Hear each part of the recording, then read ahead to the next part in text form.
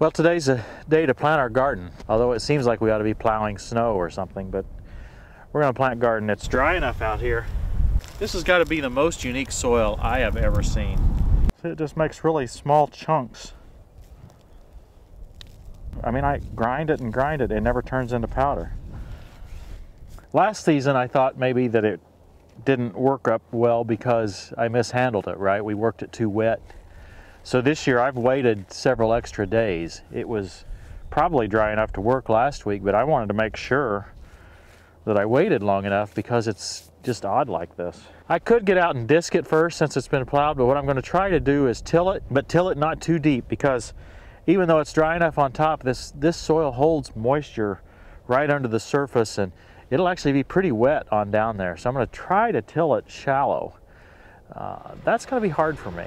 Uh, those skids on the end of the tiller, they don't, you know, they're not perfect at holding it up, so I'll have to use the three-point hitch to try to hold it up and just take a little bit of uh, the surface on. Oh, the cats are coming out to check us out. So I think I'll go get Johnny too. I'll till it once, then we'll spread a little fertilizer on it and I'll till it again, then we'll get started planting.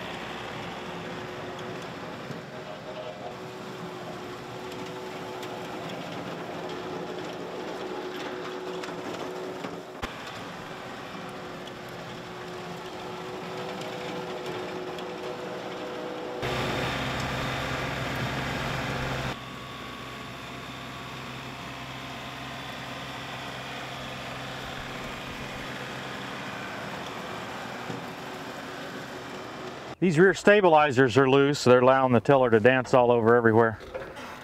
I had them loose for another attachment that I recently had on here. It's hard for me to till without tilling really deep. It just looks better when it's tilled really deep. I, I still want to go over it this first time, limiting how deep I go. It just doesn't leave it as nice. I'm wondering if maybe the second trip it will, it will look nicer. I'm just afraid to get down in there too far and dig up that wet muck. So I'm, I'm trying to learn to work with this dirt the way it ought to be worked with. And that's how I see the farmers work. They don't work it very deep in the spring. So I'm trying. It's hard to teach an old dog new tricks.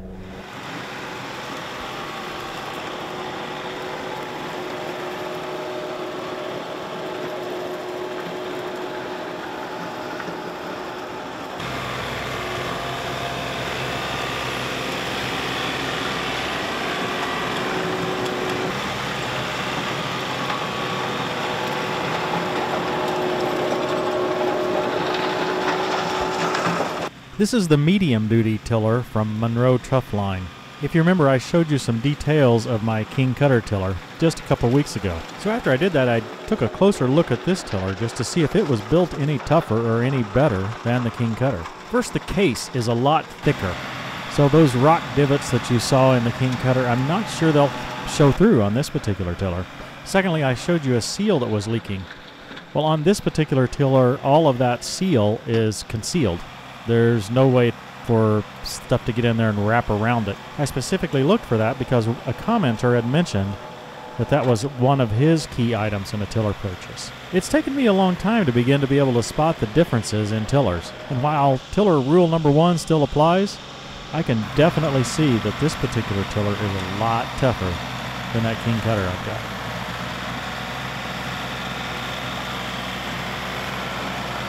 At this point, you can see that I've given up on tilling this shallow. I just socked it in like normal.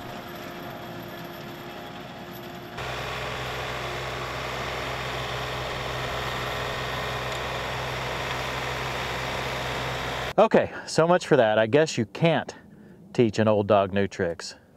At least when it comes to me and this tiller, or any tiller. When I tried to set it really shallow, such that the three-point hitch held it up. It was not really floating at all uh, on its skids. It just, it went up and down like this really bad and it just left waves in the, uh, ground. And I've seen that with my other tiller as well, so it's, it's not unique to this tiller. I really saw no choice other than just let it down on its skids and let it float. That's the bad news. The good news is waiting until the garden got drier actually worked here because it worked really well, even though I went the normal depth that I would typically till.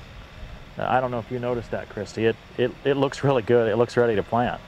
Yeah. And last year, we never got out here when it felt like it was ready to plant. I mean, even up into June when we were planting uh, the last bit of sweet corn that we planted, it, it was always wet.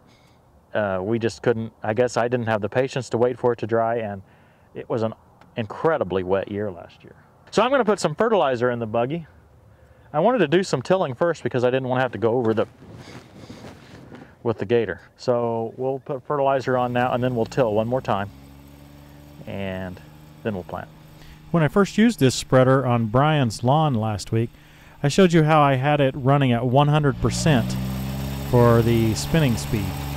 I'm running down in the 60s for this so it doesn't throw it quite so far. I'm going to spread at a much higher rate for this garden.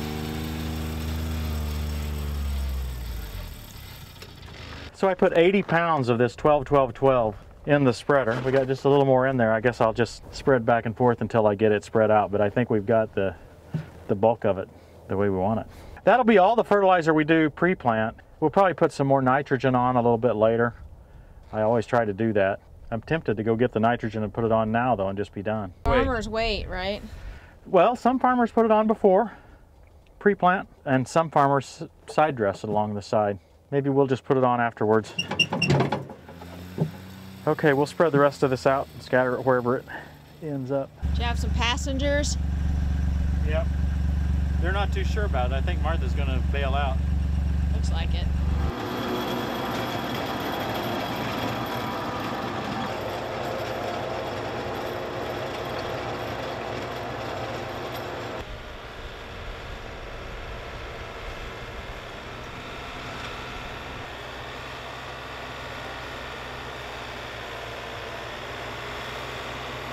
Come on, Martha. Come on up here and see me. You ready to plant some sweet corn, Martha? You've never seen that before. Neither of you have. Okay, Martha. I got to get moving. You're getting to where you hear the fuel pump start.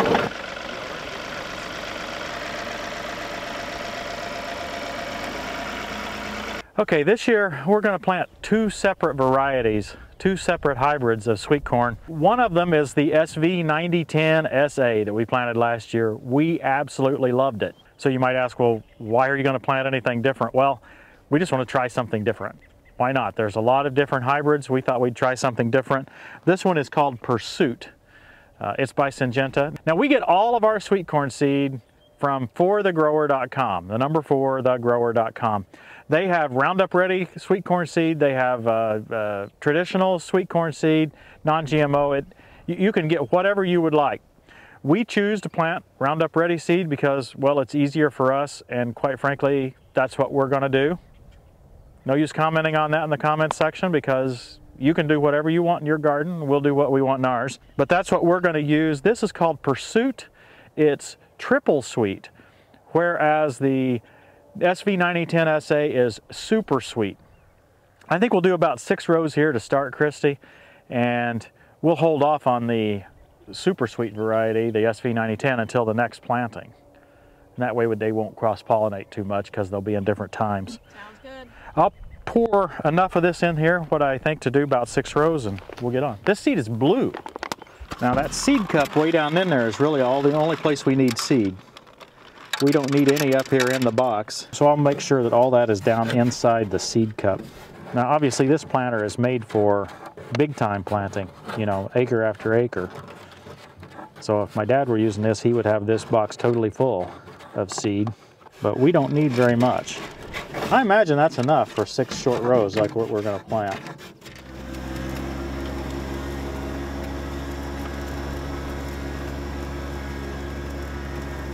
I see a seed right here at the end. It's pretty deep. Did you change the setting from last No, I didn't change the setting from last year, but the soil is so much more workable this year that I think it's going deeper. I think I should take it out a little bit. I think it's a little too deep. The soil's working so nicely. Um, you don't need this nice a soil condition for this good quality planter to, print, to plant, but it's really nice when the soil does work this nice. I'll take it up a couple notches here. So that's one on each side. You can go, like for instance, you can go sideways here to get a half a notch or whatever. Yeah. So this would be a, a whole notch, I believe is how Dad would describe that.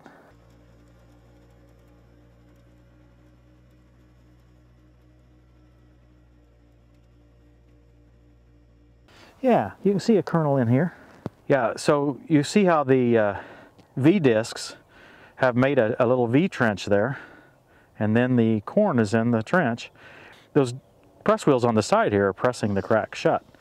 So it puts some nice pressure along the sides, but yet it leaves a, a place in the middle where the corn can come through without an enormous amount of pressure on it. Let me look in here. Oh yeah, we've done three rows. We still got plenty of corn showing up here. So let's do three more.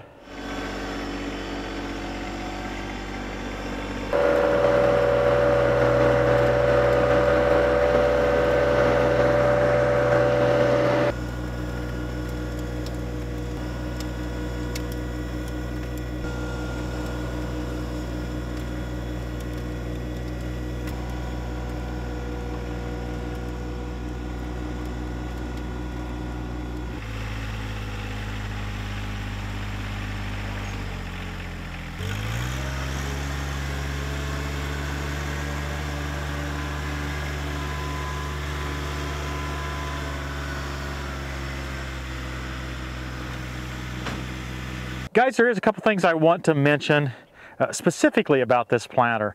I'm sure it's running through your head, why does this guy have this fancy planter to plant this little amount of sweet corn?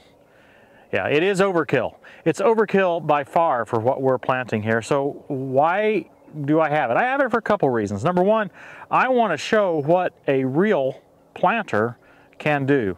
This is the same machine that my dad uses, a 12 row version of this, um, on his farm still today. Now he bought his in 1994.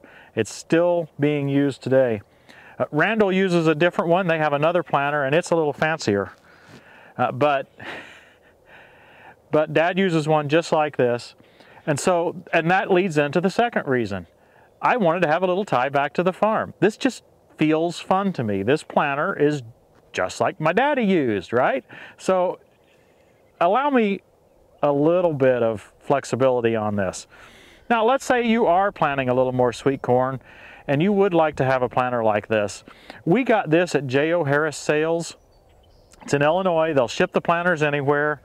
Uh, I haven't spoken with them this year. I'm not sure how much they're charging this year. Uh, last year was about $2,500. Probably the most common question I get is what is your row width and how close are your kernels to each other? For row width, we go about 36 inches. Uh, as you can see, I didn't use any marker or anything, but I drive the tractor right back in the same track that we came from. The tractor track width is centered on 36 inches. So that's the row width. Now, this planter has a complete transmission just like uh, the original John Deere planter that Dad uses at home.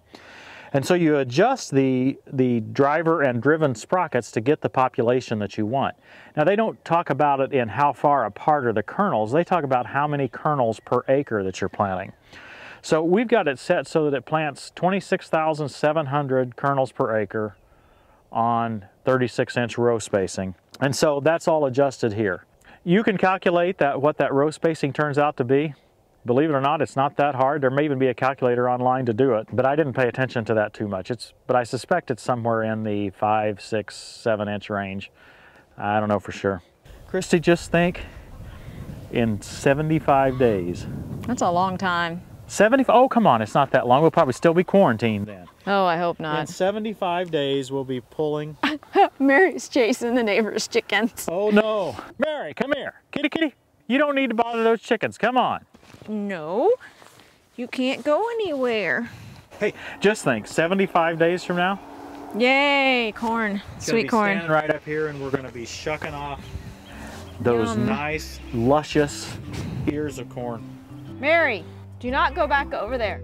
Thanks for watching, everybody. We'll see you next time on Tractor time with Tim.